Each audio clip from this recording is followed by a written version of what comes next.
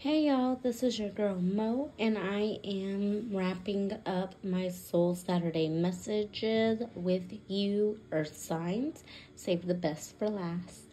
So, if you are a Taurus, Virgo, or Capricorn, this is your Soul Saturday reading, and I hope you enjoy. If it resonates, go ahead, share, subscribe, like, and follow, and make sure you comment how it resonates with you. Starting off, I am looking at both of the first chakra, base chakra cards. I'm going to start with the top one that says instinct.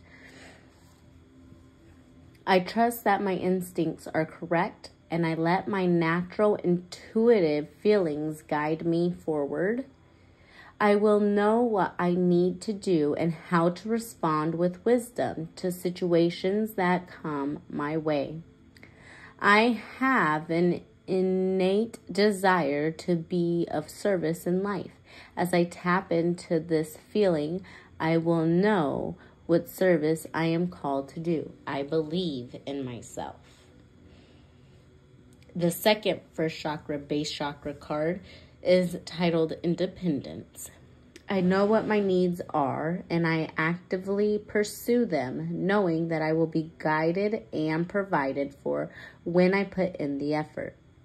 I open myself to all possibilities and participate fully in life.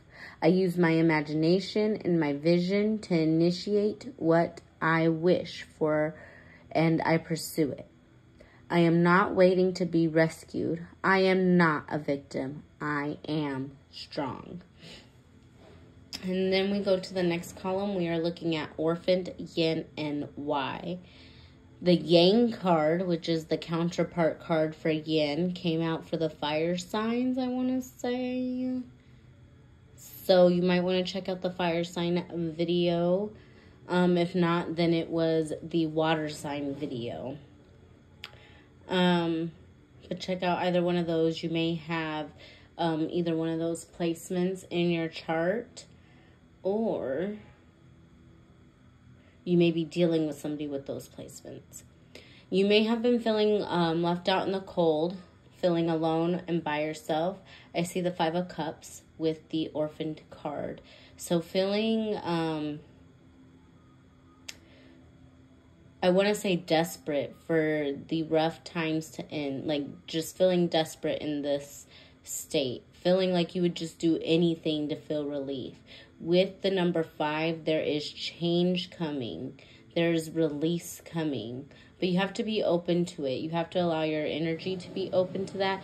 Um, and you also have to work on grounding yourself, making your making sure you're connect, connected with spirit, with the yin energy. That is what that speaks to. It speaks to connecting with your feminine soft side. And you may be wondering why these situations keep occurring. Why do you keep ending up back here? Why does this keep happening? But Spirit is wanting you to go within and look at that. Upon going within, you will have forward movement. If you look at the last column, that's where I'm at right now. You will have some forward movement. There will be progress However, Spirit is asking you to seek seclusion, to be by yourself at this time. So if you're continuing trying to um, put yourself in group situations and you're like, I don't feel like I belong in these groups, it's because you're not supposed to be there. You're supposed to be at home by yourself in your jammies watching a movie with some ice cream, okay? You're supposed to be sitting there meditating, reading a good book, talking to the divine about your about your troubles, but not just your troubles, but the things that you're grateful for. Um, these are the things needed for you to have that forward movement, for you to have progress. Currently, my stomach hurts. My stomach didn't hurt in the other readings. I feel nauseous. Hmm.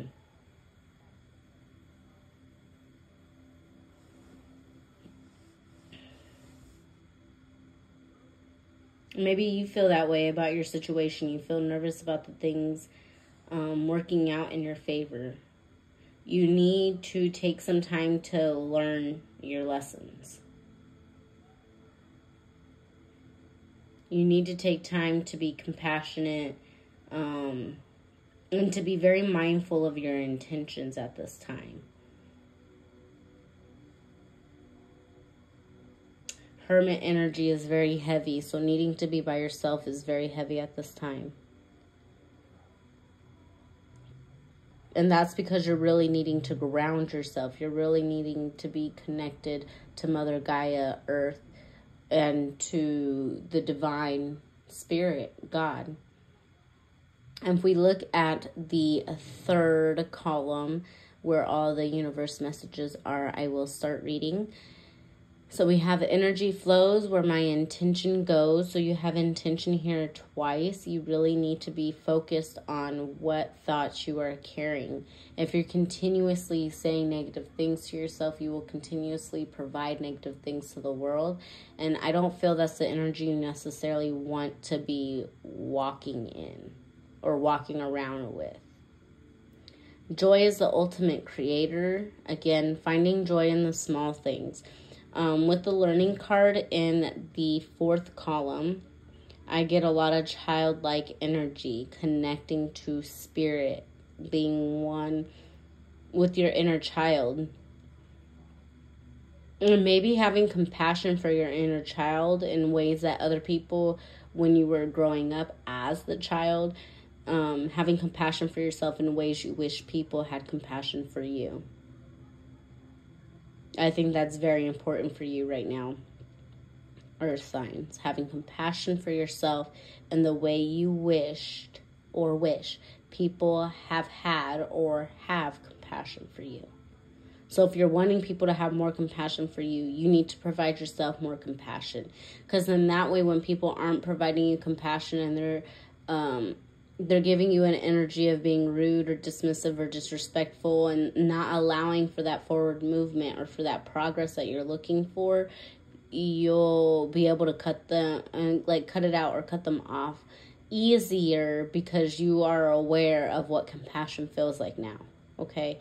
Like you're used to not feeling that compassion but because you're providing it to you you now understand what it feels like the next message you have from the universe is the moment I embrace my peace within and surrender, the outcome is the moment that the universe can truly get to work. This came out with the air signs. So if you have any air sign placements, then you are going to want to check out the air sign video. The other card that came out in that video is the key to prayer is to forget what I think I need. So when you're praying, stop for praying for what you need. Just pray for, like, for example, if you are in a situation where you um, are wanting to move, you don't like where you're living, you're wanting to move. Then you pray for the things that you desire in this new space. But don't, like, as you're praying, allow yourself to be more open to other possibilities, particularly grander possibilities. Like, if, for example, as a child, if you have, like, they may think they're getting one gift, like a certain gift, right? Or one surprise. And then you give them that surprise, but then there's another surprise and it's a lot more than what they had originally wished for this is you, okay, at this time. So try not to be so stuck in what you believe the situation should come out to. Be more open. My outer experiences are a reflection of my internal condition.